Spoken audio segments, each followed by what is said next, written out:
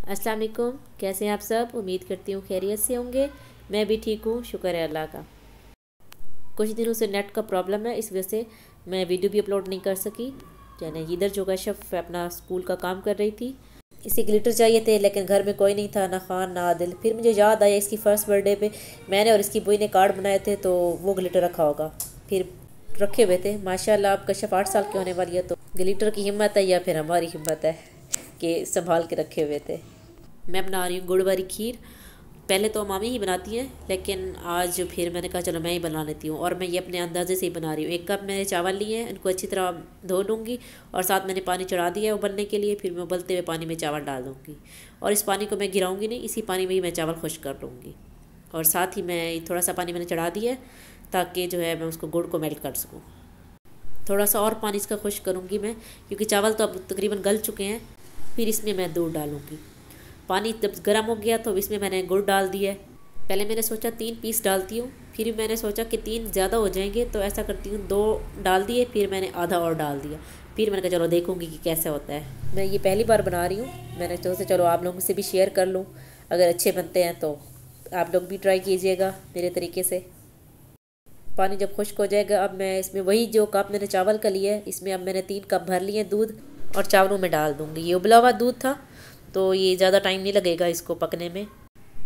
आदिल ने कहा कि कुछ मीठा होना चाहिए शाम को तो फिर मुझे समझ नहीं आया कि मैं क्या बनाऊँ।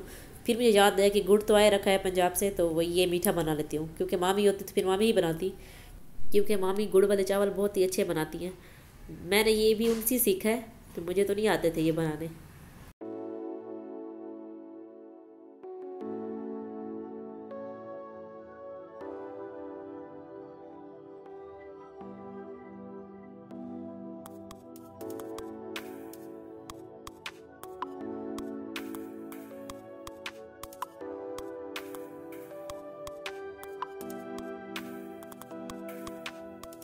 दूध भी गाढ़ा हो अब मैं इसमें मेल्ट किया हुआ गुड़ डाल दूँगी।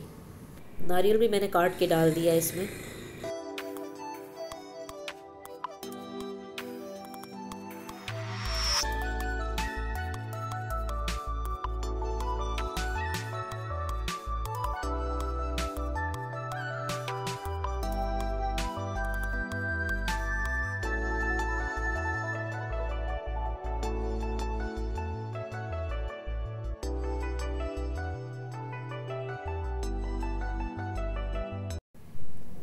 खीर, अच्छी तरह गाढ़ी हो गई है, फिर मैंने कहा, चलो, मुझे ख्याल आया, चेक तो कर लो, इसका मीठा कैसा है?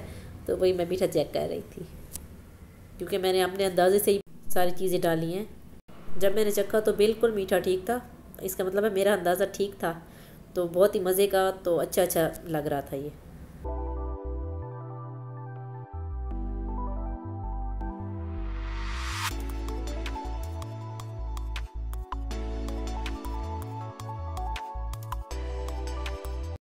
खीर अच्छी तरह पक चुकी है। बस मैंने इतना ही गाढ़ा रखना था क्योंकि ये पकने के बाद, ठंडी होने के बाद भी गाढ़ी होती है। तो मैंने चूल्हा बंद कर दिया है।